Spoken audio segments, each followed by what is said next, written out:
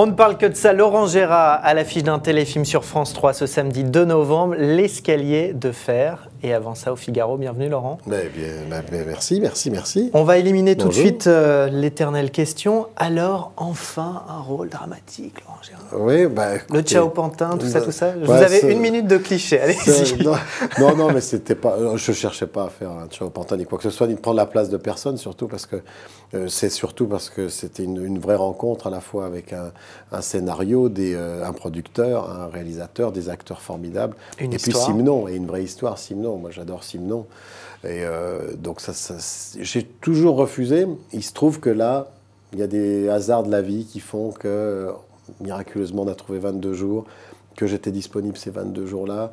C'était un film d'époque, donc c'était un petit peu. Forcément, il y avait des contraintes, mais euh, ils ont été d'une bienveillance et d'une gentillesse. Ils ont, ils ont mis tout à disposition. C'était pas qu'une question d'organisation jusqu'à maintenant. J'imagine qu'il y avait Bah aussi- si, si, si, beaucoup, parce que euh, les, les tournées s'organisent assez longtemps à l'avance. Donc euh, quand il y avait des projets de cinéma qui, tom- qui tombaient, moi j'étais pas dispo, ou alors il y avait des dates au milieu, donc c'était toujours très compliqué. Je passe ma vie sur scène, hein, sur les routes. Et justement, euh, côté euh, comédie, vous avez plutôt envie de garder ce cap-là Ou là, d'aller vous amuser aussi et de faire Ben, une énorme comédie Ça, ça dépend. Moi, je trouve que c'était plus intéressant d'arriver avec un rôle comme ça parce que euh, déjà, il y a, il y a toute l'atmosphère de Simon. Il y a tout... Moi, c'est le genre de film que j'aime. Enfin, c'est le genre de rôle qui, qui m'intéresse. Et on regarde? La bande-annonce. Je vais te dire une bonne chose, Étienne. Quand les femmes ferment la porte, c'est mauvais pour les hommes. Et puis c'est souvent dans la tête que ça se passe. Ça commence par euh, des crampes dans le ventre, une chaleur dans la gorge qui devient une brûlure.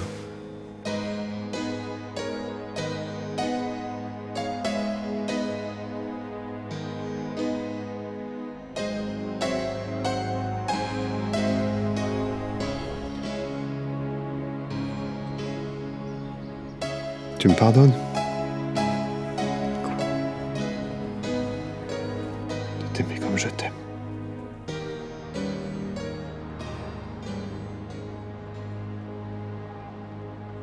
Ça vous fait quoi? Euh, ça me fait bizarre, mais c'est surtout beaucoup de- de- d'émotions qui, qui revient comme ça euh, à la vue de ces images, parce que j'ai passé euh, effectivement ce, ce tournage dans des conditions formidables, euh, mais je pensais pas que l'émotion était palpable. Et là, je le, ressens en le revoyant, ça me, fait bizarre. J'aime pas me voir, vous savez, j'aime pas me voir, euh, même les sur scène, j'aime pas me revoir. Euh, mais voilà, ça me fait un, une petite piqûre de rappel d'un bon souvenir et d'une atmosphère très simnonienne d'ailleurs qui régnait sur le tournage, parce qu'on a eu des conditions météo qui étaient vraiment dignes de Simnon. hein. C'est du brouillard, de la pluie, du froid, de la neige. Donc, euh, non, non, je, suis- je trouve que la bande-annonce est bien faite. En plus, je trouve que voilà, il y a une espèce de mystère là, au milieu. Vous vous reconnaissez en quelque sorte? J'ai du mal à me reconnaître, vraiment. J'ai vraiment du mal à me reconnaître, ce qui, ce qui vaut mieux, remarquez. C'est que c'est réussi. C'est exact, j'espère que c'est réussi, oui. Et si on s'amusait à, à tout mélanger? Il y a beaucoup de films euh, aujourd'hui qui sont des biopics, il y a Oui. eu un téléfilm sur Chirac, etc. Ça, ça vous amuserait qu'on vienne vous voir Ah oui. pour l'acteur et pour l'imitateur? Ah, pour. euh, Pour vous transformer Mais alors, il faudrait que ce soit un personnage que je que j'imite pas. Enfin, ce serait bizarre. C'est un, un personnage que, qui serait une Vous pourriez pas jouer Chirac, par exemple. Non, ça serait difficile. Je pense que les gens auraient envie de rire.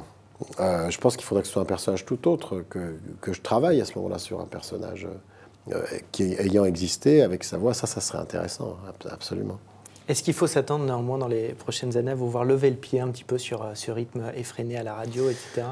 Pour Mais- euh, aussi faire d'autres choses, comme là, avec ce téléfilm? Bah, C'est-à-dire que, vu ce qui se passe en ce moment dans l'actualité, c'est quand même tentant de, dur de- c'est quand de même tentant raccrocher. de raccrocher, parce que là, il n'y a qu'à se baisser quand même. hein. Donc, c'est difficile de raccrocher. Et puis, je crois aussi qu'il y a des chapelles euh, dans notre pays et que on m'attend plutôt dans ce registre-là. Ce qui ne veut pas dire que je ne ferai pas de temps en temps quelques petits plaisirs, euh, je ne sais pas, cinématographiques. En tout cas, euh, j'ai des dates de prévues encore jusqu'à fin 2014. Vous avez dû annuler quelques représentations là il y a quelques jours Oui. euh, parce que vous étiez complètement euh, à faune Oui. euh, avec notamment le froid, si je dis pas de, de bêtises. Vous Oui, étiez un peu malade. C'est à Euh, cause des, des studios, vous savez, la clim dans les studios. Ça va être à cause de nous si on ne voit pas dans les prochains ça, ça arrive de temps en temps. Vous savez, on n'est pas des robots. hein. Euh, j'ai, euh, voilà, il n'y avait plus un son qui sortait, donc euh, Mais c'est une angoisse quand on fait ce la que voix. vous faites. Ah oui, la voix. oui, Mais à quel point en fait? Bah, c'est-à-dire qu'il faut faire attention, quoi. Donc, euh, je vais, je vais pas dans des lieux où il faut parler trop fort. Mais j'ai une vie intense. hein. Je ne me prive pas de grand-chose, j'ai une, très belle vie. Donc, euh, ce qu'il faut, ce faut, c'est bien dormir, bien récupérer. Mais euh, parfois, la machine, voilà, elle, elle peut pas. C'est, rien, hein, ça arrive de temps en temps. Ça m'arrive heureusement assez rarement. euh, parce que les cordes vocales, c'est un, muscle, hein, donc plus on l'entretient, mieux ça va. Mais on n'est pas à l'abri d'un virus ou de germes mal intentionnés. Pour terminer, euh, Laurent Gérard, on a regardé un petit peu tous les, tous les dossiers qu'il pouvait y avoir sur vous, toutes les Il a polémiques, dossiers, etc. polémiques Victor. Et il y en exactement, pas mal. Et il y en a évidemment. Qu'est-ce qui vous agace le plus dans, dans tout ce qu'on a pu dire euh, de vous? Je vais vous donner. euh, Non, non, mais je vois ce que vous allez dire. Mais ce qui m'agace, Qu'est-ce que je vais dire? Non, mais, c'est toujours pareil. Non, non, mais Le dites-moi. sens des choses de journaliste. Dites-moi. Non, ce qui m'agace, c'est tout ce qui est sur les, des, des espèces de réseaux. Moi, je ne vais pas sur les réseaux, etc. Donc, ils peuvent, ils- Internet, ils, peuvent, réseaux sociaux, ils peuvent, etc. ils peuvent y aller. De toute façon, je ne regarde pas. Sinon, on devient, on devient malade. C'est sous couvert de l'anonymat d'insulter d'insulter les gens, d'avoir des propos qui ne qui correspondent pas à ce qu'on est. Bon, de toute façon, c'est un peu la, la, mode maintenant d'aller. euh, D'ouvrir les vannes. d'ouvrir les vannes. Écoutez, c'est très bien. Moi, si, euh, si, ça, si ça les défoule, moi, ça, ça ne me touche pas parce que je sais très bien euh, comme je suis et puis je n'ai pas à me justifier de quoi que ce soit. Ça ne répond pas à la question, Laurent. Bah, dites-moi, qu'est-ce que vous vouliez me dire Non, je sais pas, vous pensiez à quoi Réac, c'est ça. Non, il y a quoi? C'est euh, Ardisson, c'est Canteloup, c'est des Ah, choses comme ça qui ressortent tout le temps. C'est-à-dire? Bah, on vous oppose toujours à Canteloup, par exemple. Est-ce Ah que ça, c'est un truc qui Ah, mais ça, c'est un truc de journaliste, vous savez, ils aiment bien opposer. Non, mais du coup, est-ce que c'est euh, Non, ça ne me touche pas. Les polémiques passées avec Ardisson Ah, qui Ardisson, ressortent bah, toute toujours, façon, pour le coup, suis- sur Internet, quand on tape votre nom Ah bon? Ouais. ah oui, mais je ne sais pas, moi je sais pas de quoi vous parlez, parce que je vais, je vais pas, parce qu'ils mettent quoi, Ardisson Bah euh, voilà, on resserre la polémique euh, que vous avez eue euh, il y a quelques années. Bah dites donc, il faut qu'il recycle, il faut qu'il se recycle parce que.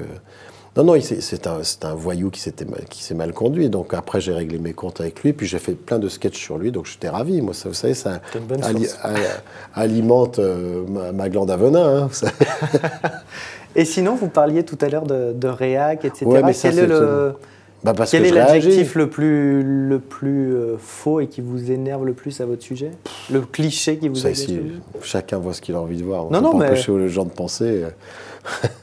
non, euh, je sais pas. euh, non, Il y a- mais il n'y a rien qui m'énerve parce que ça m'énerverait si ça venait de quelqu'un que j'aimais bien. Puis si ça vient de gens que je connais pas, qu'est-ce que ça me fasse?